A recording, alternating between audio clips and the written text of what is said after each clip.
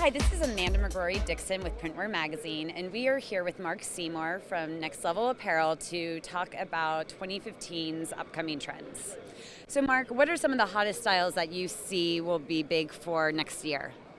Well, we're definitely seeing a trend towards the poly cotton mix. So, um, we've added a lot of color into our CVC line. Um, this is the uh, vintage turquoise, and this is the um, apple green and this is the purple berry.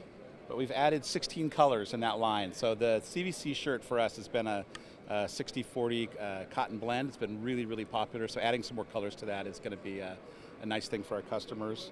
The other thing is uh, in our suede tee, which is also a 60-40 product, um, and has an extra brush to it, so it's super soft. Nobody in the market really has this shirt, and the customers have really been responding well to it. Um, this is in Bondi Blue. And then um, this is our um, tri-blend shirt.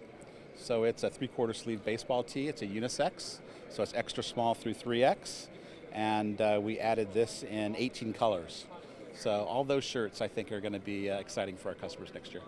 Great. So do you see any color palettes that are really trending for next year? Well, I think the pastel colors are still really strong. Um, the neons uh, have been strong for the last few years, and neons have always kind of run their course in the past, but I don't see that happening yet. So I think the neons are still pretty good. I don't think that's as much of a trend, but it's a continuation.